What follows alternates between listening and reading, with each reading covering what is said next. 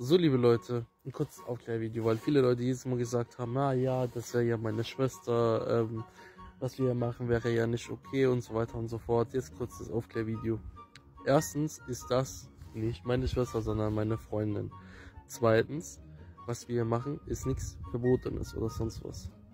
Man sollte es einfach akzeptieren, egal, wie soll ich sagen, man sollte alles akzeptieren, wenn man zusammen ist oder nicht und dann einfach diese Kommentare lassen, wo man betitelt, ja, die sind ja Geschwister und sonst was. Nein, es ist nicht meine Schwester.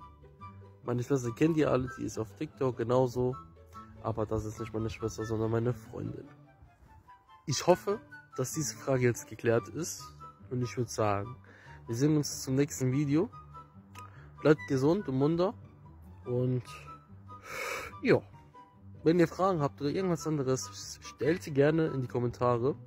Und Pascal macht natürlich für euch ein Video. In diesem Sinne, tschüss mit Doppel